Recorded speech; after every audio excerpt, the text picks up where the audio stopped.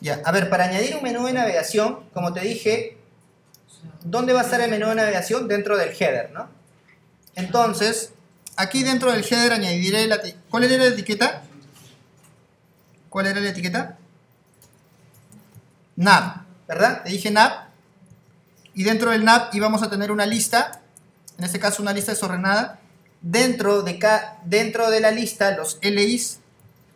Dentro de cada LI que iba ahí, los enlaces. Muy bien. Los enlaces. Y aquí debería colocar de repente, no sé, este será el home. Voy a añadir el otro LI como otro enlace, de repente este será historia. Estamos hablando de historia del juego. Otro enlace que será personajes.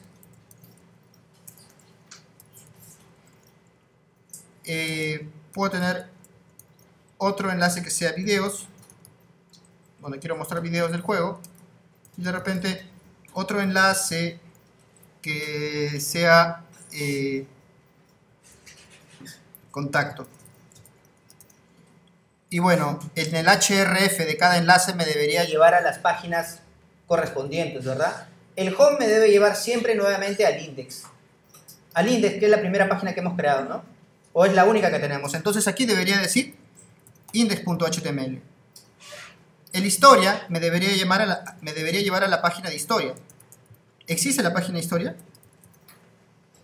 No, no existe, pero ya estoy asumiendo que la voy a crear, que va a existir un, archivo historia.html.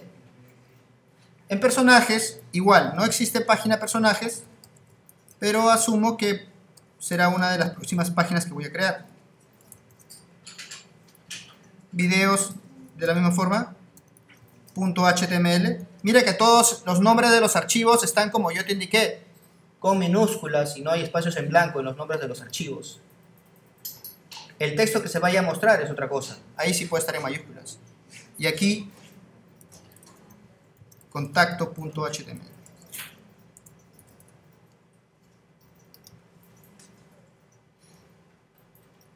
¿Ya?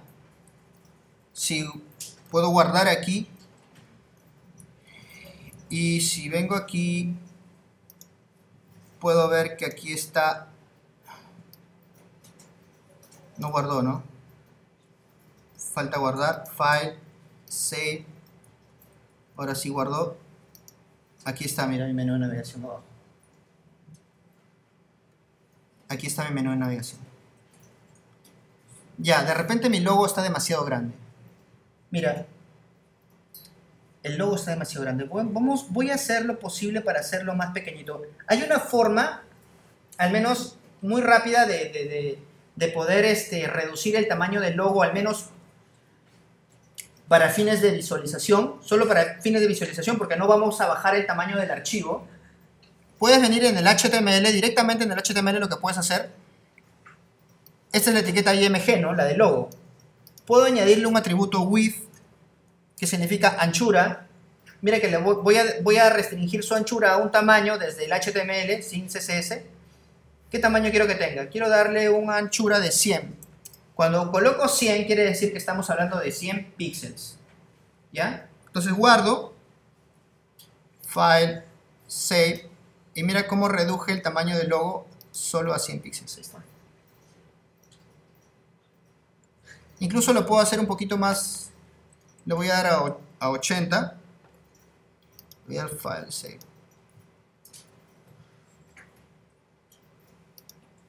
Ahí está el logo. Ahí está el logo. ¿Ya? Entonces esto, ahí está mi versión. Ahí está el logo.